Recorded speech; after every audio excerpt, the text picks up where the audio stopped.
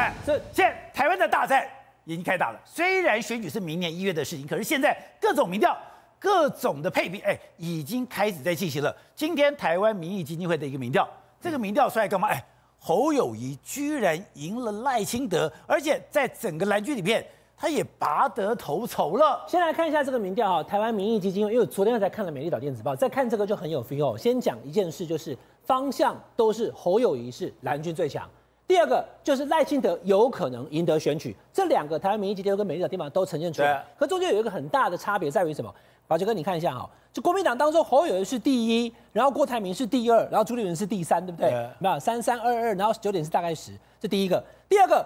如果朱立伦不要的话，那的票呢是跑到侯友谊这边。所以简单讲就是，只要侯友谊没有说我打死不选的话，国民党最强的人提名就是侯友谊，对不对？那当看他怎么模式来。四月二十五号新北市议会要开议，如果他都只有那五字诀，呵呵这代际，他一路讲到七月，宝杰哥现在才二月底啊，还要再讲四五个月啊，哈，那我就不知道明天会怎么样了。第二个，那你要进到对手，你要看柯文哲跟赖清德啦，这个东西如果沙卡都，而且极可能沙卡都。除非什么哦？我刚刚跟黄国昌在上节目，他说柯文哲可以把自己放成是不分不分区立委第一名进国会，对不对？蓝绿不过半，民众站出来，民众党要有十到十五席立委，让国民党跟民进党都不要过半。所以他是他是拼立法。对，如果是这样子，因为说实在的，我们我们今天关键时刻讲关键的话，柯文哲不一定拼总统。如果没有柯文哲拼总统，他都知道，他不用看我们节目，他都知道，他不会赢嘛。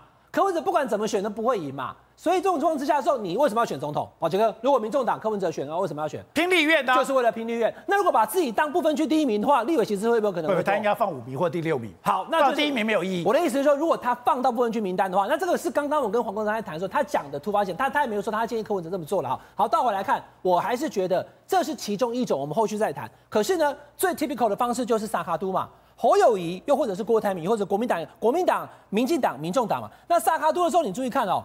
侯友谊他是赢赖清德赢了五趴，柯文哲哎，美岛电子报柯文哲也有二十趴哦，都是二十趴，所以柯文哲他有二十趴的这件事情要注意了。好，这个因为黄珊是二十五趴，国民党现在内部有一个讯息就讲说，不要玩柯文哲了，柯文哲就是黄珊珊嘛，男版女版而已啊，歼灭他就好了。反正民众党拉的是年轻票，没有民众党像这样子，年轻票是跑去民进党。所以，我们干脆有一个民众党，然后呢，我们就当蒋万安，民进党就是陈时中。所以我觉得，我先打一个叉。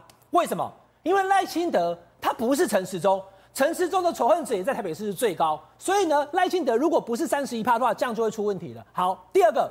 侯友谊对待竞争对柯文哲是这个比例，但我很想看看，如果你放回郭台铭都是什么？但是可惜没得那个这个呃台湾基金会他没有放郭台铭或朱立伦进来对比，所以只看得出来侯友谊现在目前最强，不知道郭台铭跟他的距离到底还差多少。